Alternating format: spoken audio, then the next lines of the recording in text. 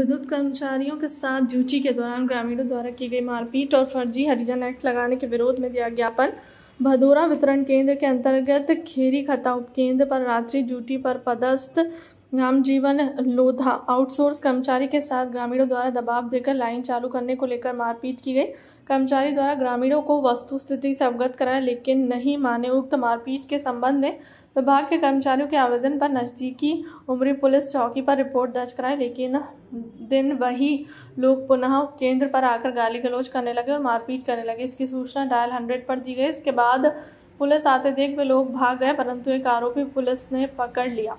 Police चौकी पर आकर प्राथमिकी दर्ज कराई। बाद में ग्रामीणों के दबाव के कारण विद्युत विभाग के तीन कर्मचारी हरि सिंह बिलाला, रिंकू लोधा और अनिल धाकड़ के विरुद्ध हरिजन थाना गुना में हरिजन एक्ट लगाते हुए रिपोर्ट दर्ज कराई, जो सही नहीं। पावर हाउस पर आने वाले व्यक्तियों या विवाद करने वाले व्यक्तियों की जाति संबंधी जानकारियाँ कर्मचारी को नहीं ऐसे में विवाद की स्थिति में हरिजन एक्ट लगाया जाना नियोजित नहीं है और दबाव में हरिजन एक्ट लगवाया गया जिसको लेकर बिजली कर्मचारियों में भारी रोष और उप संबंध में बिजली कर्मचारी को एक संयुक्त बैठक गुना विद्युत मंडल परिसर में रखी गई जिसमें किए गए निर्णय के अनुसार जिला प्रशासन और कंपनी प्रशासन को 24 घंटे में नोटिस की सूचना देकर हरिजन एक्ट की पुनः विवेचना कराई जाए। आपका नाम? मैं आर सी झा बिजली कर्मचारी महासंघ का प्रदेश सचिव वहाँ का जिलाध्यक्ष।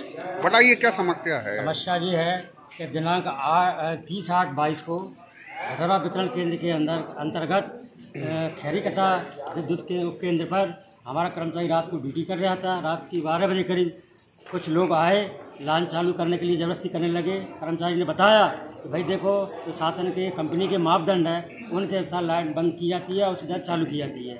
अलग अलग लाइनों का अलग सर्किट रहता है निरात रहते हैं। लेकिन उन लोगों के दारू पिए थे और उन्हें दबाव दिया। दबाव देकर कर्मचारी साथ मारपीट के जब कर्मचारी ने मना किया कि भाई मैं मापदंडों के विरुद्ध नहीं जा सकता हूँ। तो उन्हें कर्मचारी साथ मारपीट की गई। मारपीट करने के बाद वो लोग चले गए। फिर कर्मचारी ने अपनी सूचना दी, अन्य कर्मचारियों को, अधिकारियों को सूचना दी। उसके बाद वो पुनः आए वो लोग। वो पुनः आकर दूसरे दिन फिर आकर उन्होंने मारपीट करी। मारपीट करने के बाद हमने जब इसकी एफ़ दर्ज कराई।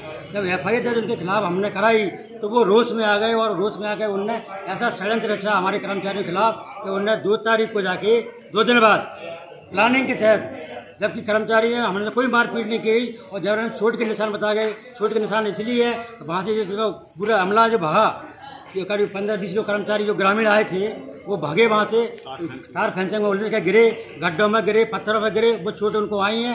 वो चोट उनको अस्पताल में जाकर ना मेडिकल कराया और झूठा दर्शा के और हमारे कर्मचारी के खिलाफ जो एफ़ आई आर एक्ट लगाया गया वो सरासर गलत है। उसको हम विवेचना चाहते हैं कि पुनः जाँच की जाए ताकि ये प्रकरण यही समाप्त हो। नहीं तो क्या है कि अगर हम ड्यूटी के दौरान हमारे साथ अगर हेलमेट लगेगा तो हम हमारा काम करना बहुत मुश्किल हो जाएगा। हम आपकी और कर्मचारियों की और जनता की सेवा करने में असमर्थ रहेंगे। क्या मांग संबंध में हम तो चाहते हैं कि जो हरिजन एक्ट लगाया उसको समाप्त किया जाए। और चौबीस घंटे का अल्टीमेटम हमने दिया है। विद्युत मंडल प्रशासन को दे दिया है, और मध्य प्रदेश के जिलाधीश महोदय को दिए जा रहे हैं। अगर आठ तारीख तक हमारा समस्या का समाधान नहीं होता तो आठ तारीख को हम विद्युत विद्युत मंडल के मुख्य द्वार पर काम बंद हड़ताल पर चले जाएँगे। इसकी समझ जवाबदारी जो भी कुछ होगा शासन और शासन जाना है। धन्यवाद।